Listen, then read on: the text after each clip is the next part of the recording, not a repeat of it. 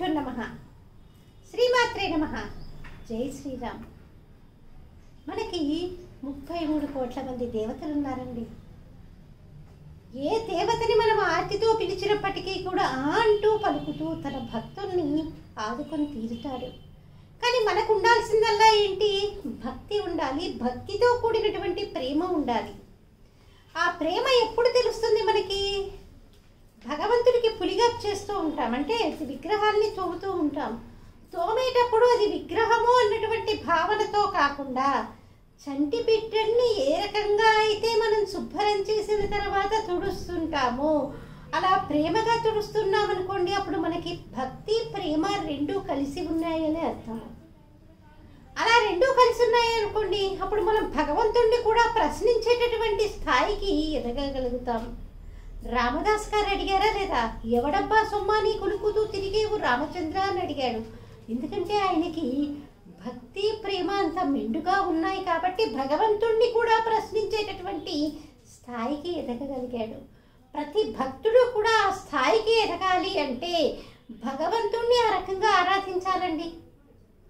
మరి మనకి చూసినట్లయితే విగ్రహాలు అనేక లోహాలతో కూడుకొని ఉంటాయి.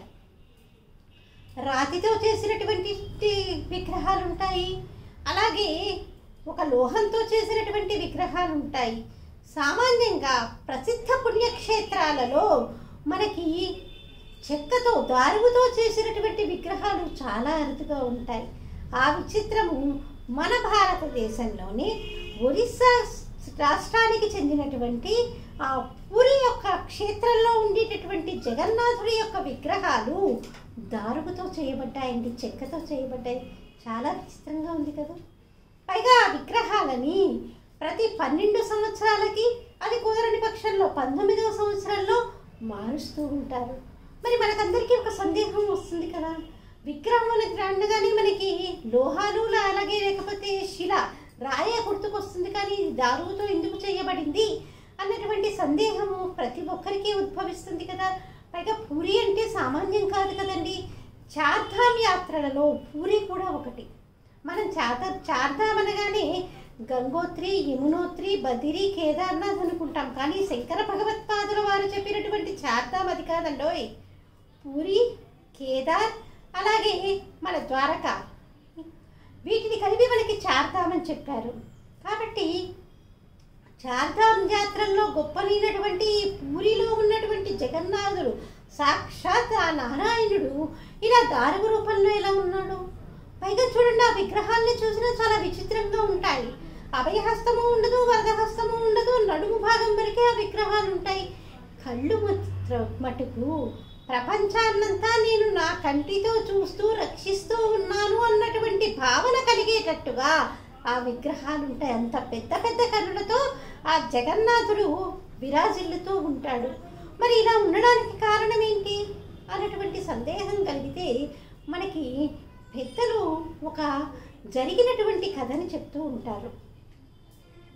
శ్రీకృష్ణ పరమాత్మ యొక్క నిర్యాణానంతరము ఆ యొక్క పరమాత్మ యొక్క శరీరాన్ని దహనం చేసిన తర్వాత స్వామివారి యొక్క నాభి స్థానం మటుకు ఎన్నిసార్లు దహనం చేసినప్పటికీ కూడా దహనం కాలేదు. అప్పుడు ఏం చేశారు ఆ నాభిస్థానాన్ని సముద్రంలో వదిలేశారు. ఆ సముద్రంలో వదిలేసిన తర్వాత కొన్ని సంవత్సరాల తర్వాత అది కొట్టుకొని ఒక నీల రూపం నీల రూపాన్ని ధరించి నీలమణి రూపం కాంతులతో ఉండేటటువంటి రంగులతో ఉండేటటువంటి పరమాత్మ యొక్క రూపాన్ని పోలి ఉన్నటువంటి విగ్రహము సముద్రం దగ్గర ఒక గిరిజన రాజుకి దొరికింది.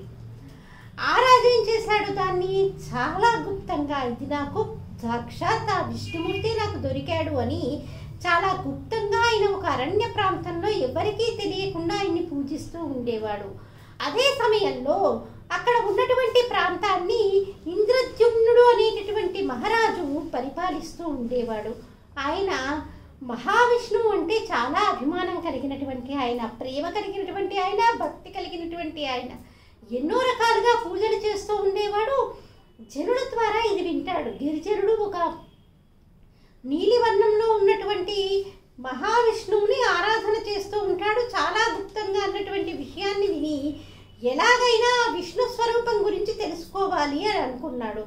మనం కూడా అందుకే కదండి ఆ జగన్నాథుడి రూపం గురించి తెలుసుకోవాలనుకుంటుంది. భగవత్ స్వరూపాన్ని తెలుసుకోవాలి అన్నటువంటి ఆత్రము ప్రతి భక్తుడికి కూడా ఉంటుంది. మరి ఇలా తెలుసుకోవాలి అనుకున్నటువంటి ఆయన ఒక బ్రాహ్మణోత్తముణ్ణి అతని దగ్గరికి పంపించాడు. అతని దగ్గరికి పంపిస్తే మరి అతని దగ్గర ఉన్నటువంటి విషయం రాబట్టాలంటే ఏదో ఒకటి కుయుక్తులు పన్నాలి కదా ఏదైనా ఉపాయం ఆలోచించాలి కదా. ఇతనేం చేశాడు? బ్రాహ్మణోత్తముడు వారి అమ్మాయిని ప్రేమించి వివాహం చేసుకున్నాడు. మోసం చేయలేదండో వివాహం చేసుకుని చక్కతో చక్కగా ఆవిడితో జీవనం కొనసాగిస్తూ ఉన్నాడు. ఎన్నో సందర్భాలలో నాకు ఆ యొక్క విగ్రహాన్ని చూపించమని అడిగినప్పటికీ కూడా ఆ యొక్క మహారాజు ఒప్పుకోలేదు. ఇక అడగగా అడగగా అల్లుడి మాట కాదనలేక కూతురు మీద ఉన్నటువంటి అభిమానంతో అక్కడికి తీసుకు వెళ్ళడానికి ఒప్పుకున్నాడు. తీసుకెళ్ళేటప్పుడు కూడా ఏం చేశాడు? కళ్ళకి గంతలు కట్టాడు. కళ్ళకి గంతలు కట్టి అరణ్య మార్గంలో వెళ్తుంటే ఎటు వెళ్తున్నామో ఏం తెలుస్తుంది? ఈ బ్రాహ్మణోత్తముడు ఏం చేశాడో తెలుసా? చాలా తెలివిగలవాడు కాబట్టి చేతిలో ఆవాలు పెట్టుకొని దారి పొడుగునా ఆవాలు చల్లుకుంటూ వెళ్ళాడు. కొంతకాలం తర్వాత ఆవాలు మొలకెత్తాయి. ఇంద్రజుమ్న మహారాజుకి కబురు చేసి ఈ యొక్క దారిలో కనుక వెళ్ళినట్లయితే నీకు ఆ యొక్క విష్ణుమూర్తి యొక్క విగ్రహం తెలుస్తుంది అని తెలియచేశాడు. వెంటనే ఇంద్రజుమ్న మహారాజు ఆ దారి గుండా వెళ్ళి అక్కడ చూసేసరికి అక్కడ ఉన్నటువంటి విగ్రహం మాయమైపోయింది. నిజానికి ఇంద్రద్యుమ్న మహారాజు చాలా బాధపడ్డాడండి. అయ్యో భగవత్ దర్శనం చేసుకోలేకపోయాని నేను చేసుకోలేకపోవడమే కాదు ఇతరు కూడా చేసుకునే అవకాశాన్ని కోల్పోయేటట్టు చేశానని ఎంతో మదనపడి అక్కడికి దగ్గరలోనే మూడు కిలోమీటర్ల దూరంలో ఆయన అశ్వమేధ యాగాన్ని నిర్వహించాడు. అశ్వమేధ యాగాన్ని నిర్వహించగానే మహావిష్ణువు ప్రీతి చెంది అతనికి స్వప్నంలో సాక్షాత్కరించి ఒక నువ్వు ఒక పెద్ద ఆలయం నిర్మించు. ఆ ఆలయం వల్ల నీకు కీర్తి వి- విరాజిల్లుతుంది. ఆ ఆలయానికి గొప్ప కీర్తి వస్తుంది. అలాగే ఆ ఆలయంలో ఉండేటటువంటి విగ్రహాలని నీ చెక్కటానికి ఏదో రాళ్ళు లేకపోతే లోహాలతో కాకుండా దారువుతో చెక్కతో చేసినటువంటి దారువుతో నిర్మించాలి. ఆ దారువు నీకు ఈ సమయంలో సముద్రం దగ్గర కొట్టుకొచ్చి నీకు లభిస్తుంది అని చెప్పగానే ఆ స్వప్నంలో చెప్పినట్లుగానే ఆయన ఆ యొక్క సముద్ర తీరానికి వెళ్ళేసరికి దారువులు కొట్టుకొని వచ్చేసరికి వాటిని శిల్పాలుగా మార్చడం కోసము ఆయన సభ తీరి ఉన్నాడు ఎంతోమందిని శిల్పుల్ని రప్పించాడు. ఎంతమంది శిల్పులు వచ్చి ఆ దారువు మీద వారి యొక్క గొడ్డని పెట్టగాని అవి పొదిని పదును కోల్పోయి ముండిగా తయారయ్యాయి. ఇదేంటబ్బా విచిత్రము? మేము ఎలా చెక్కగలుగుతాం విగ్రహాలని అని అందరూ కూడా విస్తుపోయి నుంచున్నారు అబ్బా ఎలా అబ్బా దారువు దొరికింది? మరి భగవన్మూర్తుల్ని చెక్కేది ఎలా ఆ మూర్తుల్ని నేను చూసేది ఎలా వారిని సేవించుకునేది ఎలా అని ఆ ఇంద్రద్యుమ్నుడు ఎంతో బాధపడ్డాడు. ఎలా ఎలా అని తపన పడ్డాడు బాధ కంటే కూడా. ఇలా తపన పడుతూ ఆ మిహి- మహావిష్ణువునే ప్రార్థించగా సాక్షాత్ దేవశిల్పి అయినటువంటి ఆ యొక్క దేవశిల్పే వీరి దగ్గరికి ముదుసలి రూపంలో విశ్వకర్మ ఒక ముదుసలి రూపంలో వచ్చి నేను మీకు ఇరవై ఒక్క రోజులు దీక్ష తీసుకొని నేను ఈ యొక్క విగ్రహాన్ని చెక్కుతాను. ఈ చెక్కేటప్పుడు మటుకు ఎవ్వరూ కూడా నన్ను ఇబ్బంది పెట్టకూడదు నన్ను డిస్టర్బ్ చేయకూడదు. అంటే నన్ను ఏ రకమైనటువంటి అసౌకర్యము నాకు కలగకూడదు. నేను తలుపులు వేసుకుని దీక్షగా ఈ విగ్రహాలను చెక్కుతాను అని చెప్పేసరికి అందుకు ఒప్పుకున్నారు. ఆ గదిలో నుంచి శబ్దాలు వినిపిస్తూ ఉండేవి. కానీ వీళ్ళకి ఉత్కంఠ అనమాట అందరికీ కూడా ఒకటి యాంగ్జైటీ అంటారు చూసారు ఆ ఉత్సాహము కుతూహలము అని ఉంటాయి కదా. విగ్రహం ఏమైపోయిందో ఏమైందో ఏమైందో ఎలా రూపుదిద్దుకుందో అన్నటువంటి కుతూహలం ఉంటుంది కదా.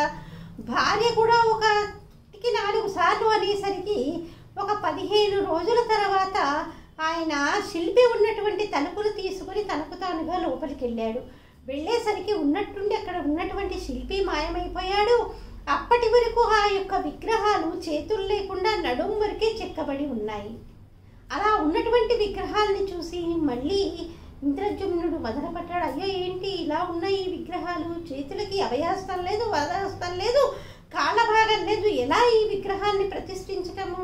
నేను చాలా తప్పు చేశాను. ఆయన పెట్టినటువంటి షరతు మర్చిపోయి నేను లోపలికి వచ్చాను పెద్దలు చెప్పినటువంటి మాట నేను వినకుండా చాలా తప్పు చేశారని ఆలోచిస్తూ ఉండగా బ్రహ్మకాన్ని ప్రార్థించగానే ఆయన వచ్చి ఈ విగ్రహాలని ఇలాగే ప్రతిష్ఠిద్దాము. ఇక్కడ జగన్నాథుడు ఈ ఉండాలని కోరుకుంటున్నాడు అని ఆ బల బలరాముణ్ణి సుభద్రని ఆ యొక్క కృష్ణ పరమాత్మ కృష్ణ పరమాత్మ సాక్షాత్ జగన్నాథుడి రూపంలో అక్కడ వెలిసి ఉన్నాడు కాబట్టి జగన్నాథుణ్ణి నేనే ప్రతిష్ఠిస్తాను అని ఆయన ఆ యొక్క విగ్రహ ప్రతిష్ట సాక్షాత్ బ్రహ్మగారే చేశారు. ఇది ఆ పూరి జగన్నాథుడి యొక్క ఆలయ చరిత్ర అండి. మరి ఆ దారువుతోటే ఆ విగ్రహాలు ఉండడానికి కారణం అదే. మరి ఈ వీడియో కనుక మీకు నచ్చినట్లయితే లైక్ చేయండి షేర్ చేయండి మరిన్ని వీడియోల కోసం సబ్స్క్రైబ్ చేయటం మర్చిపోకండి. స్వస్తి. సర్వే జన సుఖినోభవంతు